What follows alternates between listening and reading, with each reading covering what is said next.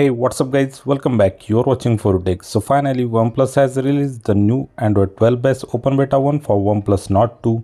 So today in this video we will discuss how to install this update, what are the new features you get in the new update, what are the bugs and if you didn't like the new update, how to downgrade to old Oxygen OS V19 all steps are shown here.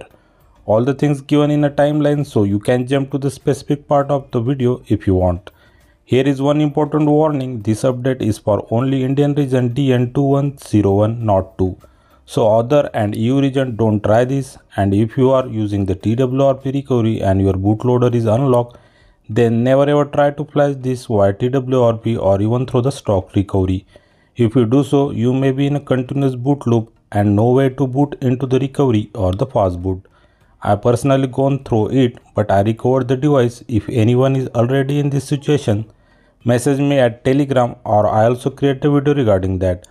Only log bootloader user flash this update via stock recovery. Now without further ado, let's get started. On a new adventure.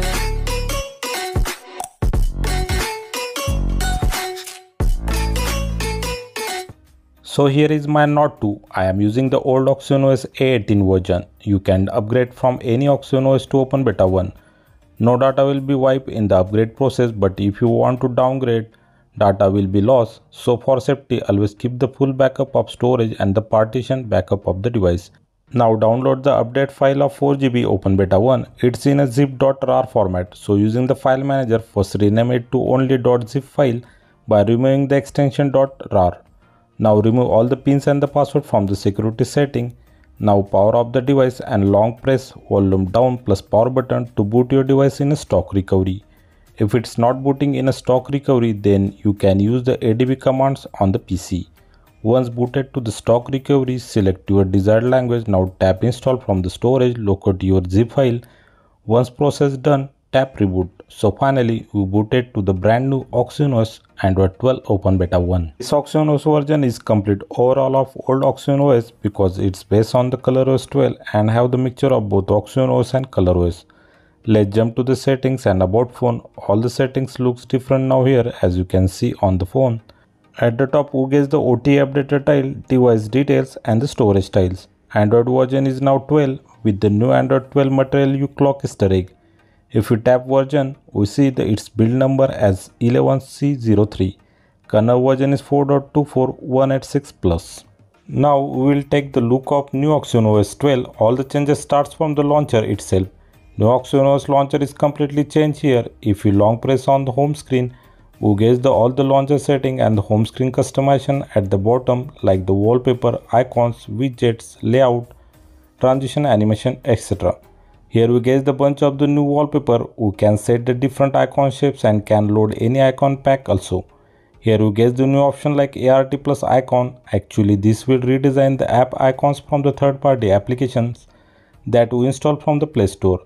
Transition animation is also new setting which has the bunch of the new animation for the home screen swipe.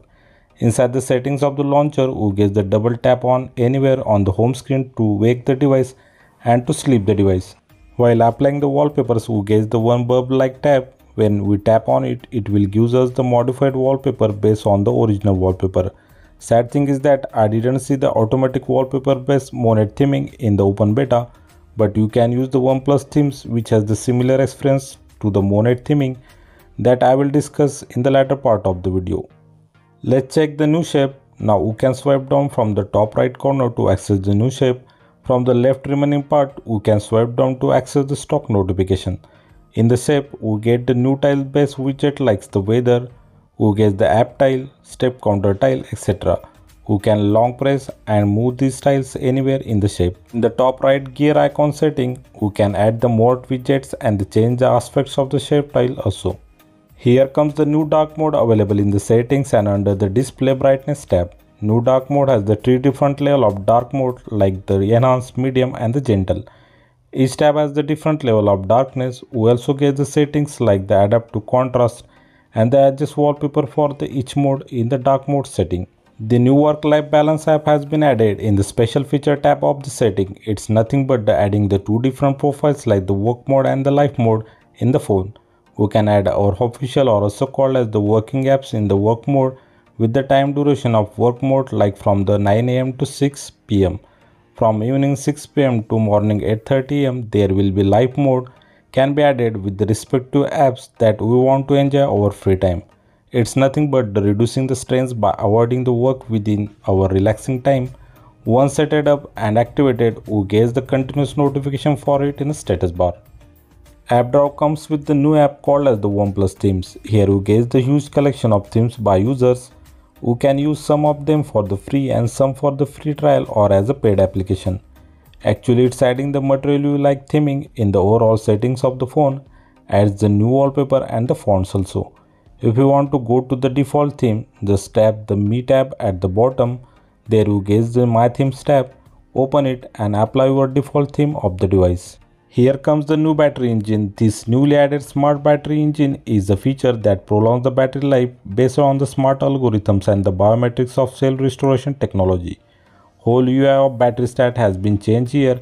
In advanced setting, we can enable the some more settings like the high performance mode, sleep standby optimization, optimize night charging, etc.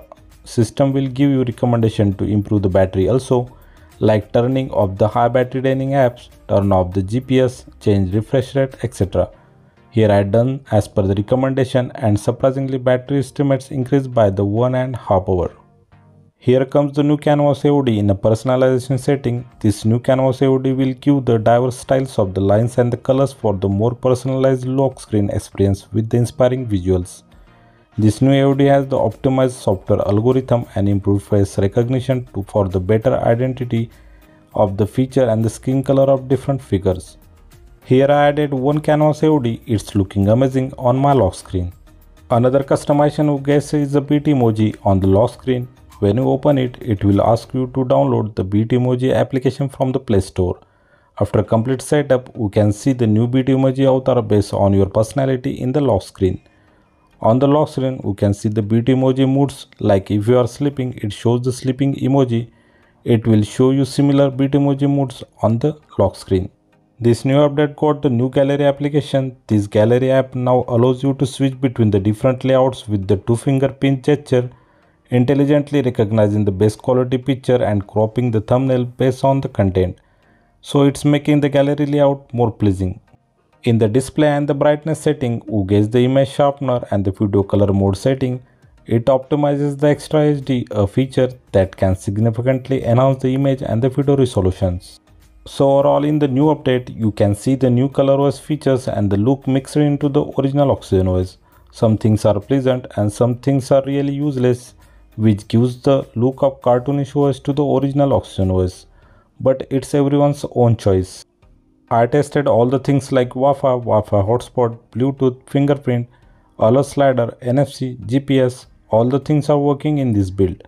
Let's see the camera. Camera now have the new user interface who gets the new additional features in the more setting of the camera like the dual view video which has the front and the back camera view at the same time in a video recording. 50 megapixel mode is an interesting feature. In this if you take the picture, it captures the picture as taken from the long distance and it has the more zoom as compared to the picture taken without the 50 megapixel. Except this cam quality is very good and now we get the bunch of the new option also in the new camera application. Here comes the new gaming mode app available in the app drawer. When you place the games, you can swipe down from the left and the right corner of the device to access the new gaming mode which has the new tiles to use some chatting apps like the WhatsApp, Messenger, etc. New performance setting tile, notification enable or disable tile, touch optimization tile, voice module to change your voice while doing the online streaming of the game, screen record and system status. So this is the new gaming mode is much more advanced and gives the more fun and the less disturbance while playing the games. So what are the bugs? As per the changelog, we might be unable to use the face unlock in the dark after turning on the brighten screen in the dim light through the settings. And second bug is the Fortnite game is not opening or the crashing. If you are a fan of Fortnite, it's may be disappointing for you. I didn't like that game so I do not tested this bug is there or not. So finally if you don't like the update and decided to roll back to the old OxygenOS version, then download the rollback version from the link given under the video description. Now enable the developer setting by tapping the 8 times on the build number in a version tab of the about phone section.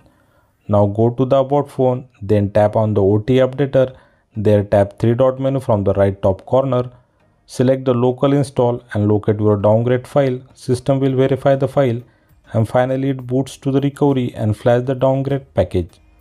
So we back to our OxygenOS A19 stable update for the Nord 2. This will wipe all the data so keep the backup of all the phone files. That's it guys the new beta update is good but I really don't like that cartoonish look. Let me know your thought in a comment section about this.